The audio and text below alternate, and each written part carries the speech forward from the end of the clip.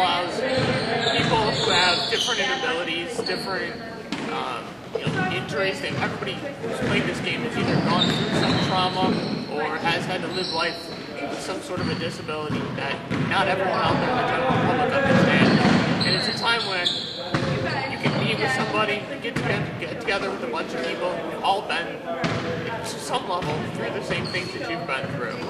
And that helps you develop who you are. It helps develop, you know, the team, the camaraderie. You know, it also gives people an outlet for, you know, sitting at home's hard. You know, if we give them an outlet so that they can go and they can push and they can work out, you know, for some people, that's their life.